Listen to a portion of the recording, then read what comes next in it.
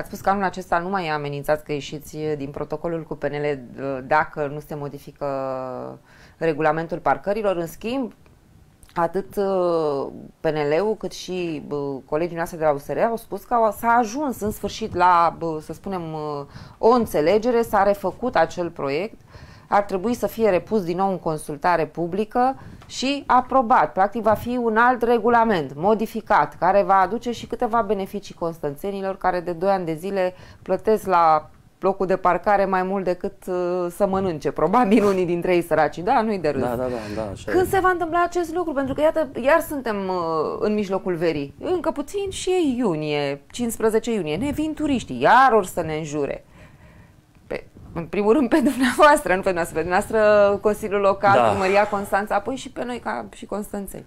Noi USR-ul tot declarăm și tot spunem că și tot ne tot întâlnim cu colegii de ce liberali. De ce este introdus în consultare acel proiect? În acest moment, vă zic că ce, ce s-a întâmplat mari. ultimile, ultima dată, cred că în, în urmă cu trei săptămâni, am dat ok-ul final vis-a-vis de un draft, noi, da. știți. Da.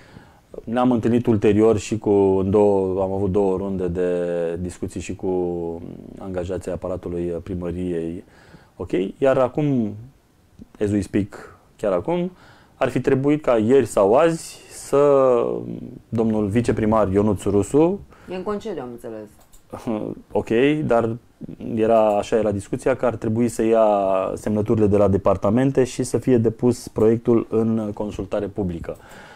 În ideea în care uh, odată trecută și prin consultare publică să poată fi pusă pe ordinea de zi a ședinței din luna iunie și să se implementeze noile prevederi cu 1 iulie, astfel încât lunile de vârf de vară la Constanța, iulie și august să nu mai genereze problemele care au fost în anul trecut. Uh, Ultima, ultimul document încărcat, acum uitam, am dat un refresh la pagina primăriei, este cel referitor la Organizația de Management al Destinației, consultare publică începând de 30 de zile, statutul Asta și... spun, că informațiile mele erau că trebuiau să se întâmple ieri, azi. Alte informații nu am în acest moment.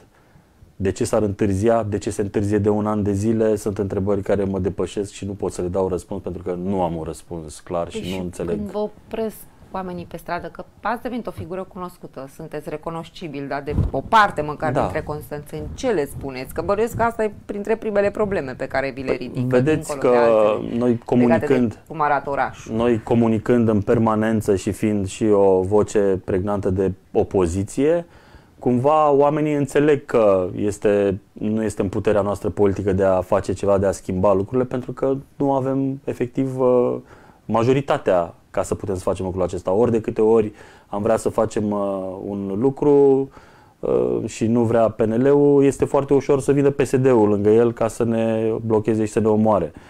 Și uh, nu poți, cu o treime din Consiliul Local, nu ai puterea politică reală ca să poți să schimbi sau să-ți impui punctul de vedere și să promovezi proiectele pe care le vrei, oricât te-ai dat de ceasul morții și oricât ai negociat. Iată, proiectul parcărilor de un an de zile ne chinuim și se tot tergiversează și se tergiversează și am ajuns în acest moment în care încă nu este depus în consultare publică.